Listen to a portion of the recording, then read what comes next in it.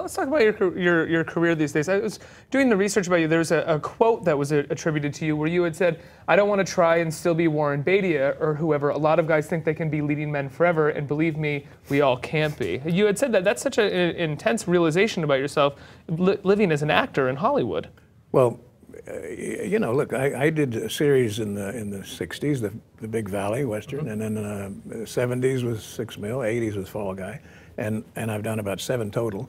But there comes to a point in life where you really want to pick and choose some nice, fun roles, uh, mm-hmm. char- more character uh, pieces, you know, mm-hmm. something that uh, you haven't done before. Because if you do a series for six years, Mm-hmm. You're doing the same character every day. It's not it's not exciting really to come to work that much. And they, they stop you sometimes from taking uh, chances on big roles. You're, you're I mean one of the well yeah I, I, I the Joe my Buck, film Midnight total, Cowboy. Total well that's true. I, I, I was doing the Big Valley, and uh, uh, the ABC had canceled the uh, the show after four years or whatever it was, and and uh, uh, so I was in negotiations with the uh, uh producers and the director of uh, doing this role with my agent and everything, and then uh, ABC decided to pick it up for another year.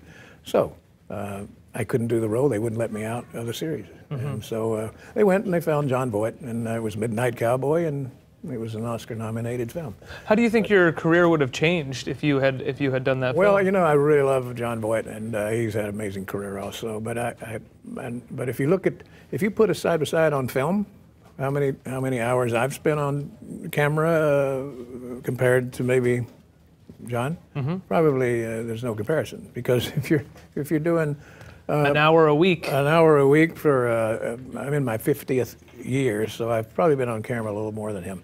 But, uh, and also, being a movie actor, you only do, you're lucky maybe to one film a year back then. Mm-hmm. And I was doing, I was, if you're an actor, you want to work. Let's yep. just put it down. makes it, that makes it easy. Mm-hmm if you're an actor, you want to just keep working. So. It's so fascinating to think about that role and not to dwell on it, but it's such a different kind of movie, a different kind of project script than than you're known for, than what you've done. I mean, the the, yeah. the Six Million Dollar Man, The Fall Guy, these are family television shows, and Midnight Cowboy was was X-rated when it first came out. That's true. That's true. That's unbelievable. But, uh, were, you uncomfortable with the idea of having to no, do that, possibly no, do that at the time? If you're an actor, boy, I, I, was jumping at doing the role, and uh, fortunately, it didn't work out. Mm-hmm. But then uh, my uh, my first uh, introducing role came after that, which happened to be a western with Charlton Heston. Mm-hmm. Probably the best thing he ever did, his best performance, was in a movie called Will Penny. Mm-hmm. And uh, so that it all equals out. I've, I've enjoyed my career. And did you find that after doing the Six Million Dollar Man and the Fall Guy and becoming a television star, it was harder to get roles, or seek, was anyone seeking you for roles for stuff like Midnight Cowboy, things that were a little more edgy? Yeah, but you know, I wasn't really uh, uh, during those times. I wasn't really searching it because mm-hmm. I got to tell you, you you do a series, you do. Uh, um, uh, back then, we started. We doing 40 shows a, a, a season. Mm-hmm. That's a long time, and and and you do that for a long time. But but they didn't know anything about reruns at the time. you know, they thought they had to have new product. Right. Now they, you know, you know, in the last 20 years, they know that reruns pay just as much or more than mm-hmm. the original content, new content. So, you know, they throw those reruns out. And some shows now, when they get picked up, even uh, a brand new show, you're lucky that they get six six episodes mm-hmm. to try you out. And if you don't work, you're off. Mm-hmm.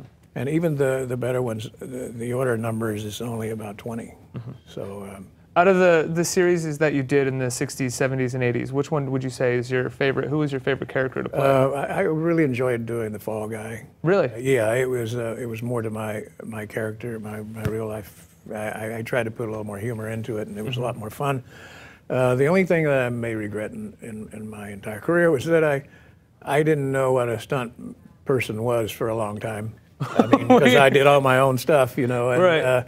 Uh, and did probably 80% and 90% of my own. Really? You suffer? Did you suffer any major injuries doing your own stuff? Well, broken noses and stuff, and things here and there. But but uh, I see, I was an, an, athlete growing up, and I played college football, and uh, I was really going to coach mm-hmm. uh, football and teach. And uh, but uh, I wish I discovered stuntman sooner. My knees would probably be a little better now. Yeah.